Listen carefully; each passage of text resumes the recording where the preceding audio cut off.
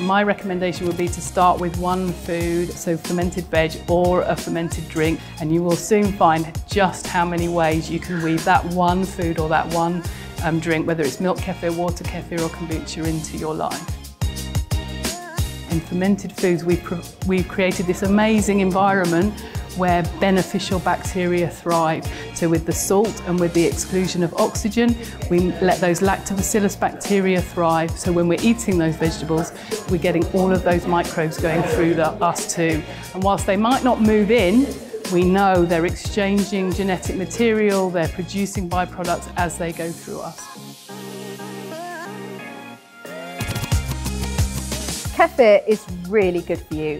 It's good for you in so many ways, especially if it's made with cow's milk. Milk is full of protein and when the bacteria start to get going on those proteins in the milk, it breaks them down into tiny little bits of protein called um, bioactive peptides and they stimulate your immune system.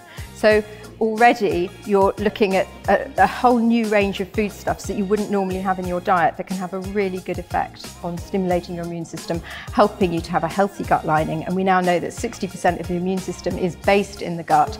So it's a really good place to start. If you can't make it yourself, you can go to your local supermarket and you can buy a whole range of delicious ones.